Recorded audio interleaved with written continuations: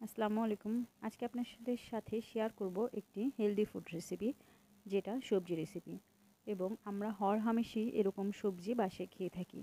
কিন্তু এর একটা বিশেষত্ব হচ্ছে, আপনি যদি এরকম সবজি প্রতিদিন খেতে পারেন বা এরকম কম মশলা দিয়ে সবজি বানিয়ে খেতে পারেন, সেক্ষেত্রে আপনার ওজন কমতে সাহায্য করবে এবং রক্তের কোলেস্টেরলের পরিমাণ অবশ্যই অনেক অংশ কমে যাবে। এটাতে আমি আলু ছাড়া সবজি তৈরি করব। এখানে সাত রকমের সবজি নিয়েছি। দুন্ডুল পটল এবং ওটাতে নিয়েছি পেপ ডুন্ডু মিষ্টি কুমড়া এবং ফুলকপি, পেঁপে, শিম। নিয়েছি আমি ঢেঁড়স এবং টমেটো। এখানে দুই টেবিল চামচ তেল দিয়ে দেবো। হালকা তেলের উপরে আমি জিরা দিয়ে দেবো এবং একটা তেজপাতা দিয়ে দেবো। এখন এর মধ্যে আমি দুইটা পেঁয়াজ, তিনটা মরিচ দিয়ে দিলাম। এটা খুব অল্প মশলায় রান্না হবে এবং এটা খুব হেলদি স্বাস্থ্যের জন্য। আপনি যদি কন্টিনিউ অভ্যাস করেন যে এই সবজিটা আপনি দুই বেলা অন্তত দুই বাটি খাবেন এবং এর মধ্যে আপনি ভাতের পরিমাণ কম কম খাবেন, এক চামচ ভাত, দুইটা রুটি, এর বেশি খাবেন না। সেক্ষেত্রে আপনি অবশ্যই এটা একটা হেলদি ডায়েট এবং অবশ্যই আপনার ওজন কমবে।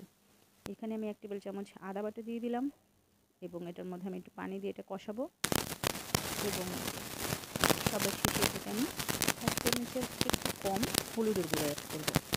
ব্যাস একটুকি আমার মশলা। এখন এটাকে আমি খুব ভালোভাবে কষিয়ে আমি সবজিটা দিয়ে দেবো। দেখা যাচ্ছে এটা হয়তো আপনার কাছে খুব টেস্টি লাগবে না, কিন্তু এটা আপনার হেলথের জন্য হেলথের জন্য খুব উপকার। তো এটা আমি এইভাবে আমি অভ্যাস করে খেয়ে দেখেছি, আমার ওজন অনেক কমেছে এবং কোলেস্টেরলের পরিমাণ যাদের বেড়ে যায়, তাদের এই সবজিটা খেলে অবশ্যই কমবে। এখন আমি পেঁপেটা আগে দিয়ে দেবো। যেগুলো সিদ্ধ দেরিতে হয়, সেগুলো আগে দেবো দিয়ে দেবো। এই দুইটা দিয়ে একটু নেড়ে চেড়ে মশলাটার সাথে আমি এটা কিছুক্ষণ বসাবো এই অবস্থায় কোনো পানি অ্যাড করব না, কারণ সবজি থেকে একটা পানি আসবে, এটা দিয়ে এটা সিদ্ধ হবে। এবং এটা খুব তাড়াতাড়ি আপনার রান্নাটা হয়ে যাবে।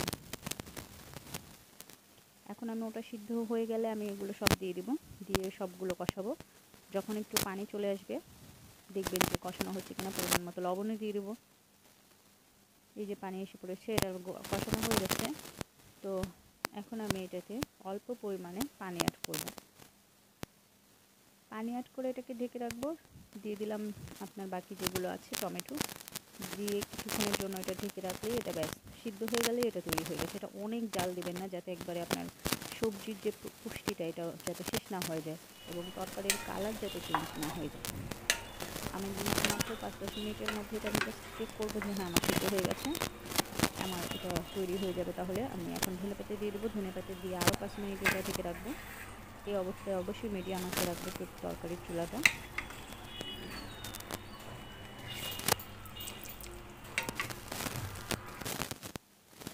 এখন আমি উপর দিয়ে একটু জিরা, ভাজা জিরার গুঁড়ো দিয়ে দিলাম। জিরা আপনার হজমের সহায়তা করে, এই কারণে দিলাম। তো যাই হোক, তৈরি হয়ে গেছে আমার সবজি। এখন আমি এটা এক বাটি অবশ্যই একটু বাটি নেবেন, এই বাটি পরিমাপ করে আপনি দুই বেলা এই সবজি এবং রুটি খাবেন দুটা পাতলা রুটি এবং এক বাটি সবজি।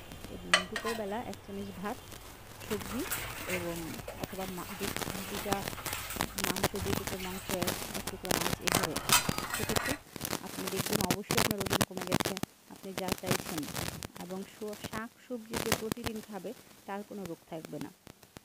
তো ধন্যবাদ সবাইকে। ভিডিওটা ভালো লাগলে অবশ্যই শেয়ার করবেন লাইক কমেন্ট করবেন এবং আমাকে জানাবেন কোনো আপনাদের কেমন লাগল। ধন্যবাদ সবাইকে।